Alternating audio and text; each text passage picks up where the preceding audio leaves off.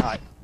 Hi, and welcome to Ride BMX's how-to video, Basics. I'm Robbie Morales, and this video is a tool to help you learn the tricks you're about to see. BMX is a sport where you can't always control the outcome. Personally, I like to keep it as safe as possible. You want me to just jump straight off it? You sure?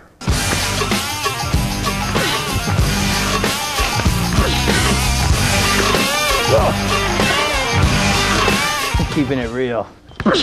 real protected. Look at that guy, no brakes. Yeah, dog. All right, kids, it's okay. and you feel your front tire going into the ramp, you lift your back end over the coping so you don't clip and just ride away into the sunset and go find a cowgirl. Yeah.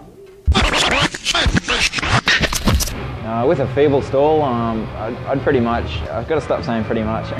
You pretty much, just pretty much, pretty much, pretty much. All right, we're working on the high five. So after you pull this trick, we can get it good. You want to raise up, look at your, make eye contact so you can compare where, where you're going to go. Go for it, make contact, but you don't want to be too hard with this one. Preferably don't be sweaty or picking your nose beforehand because you lose friends that way. That's the neat thing about BMX. It's all up to you and what you want to do, however you want to ride and what you want to ride, whenever.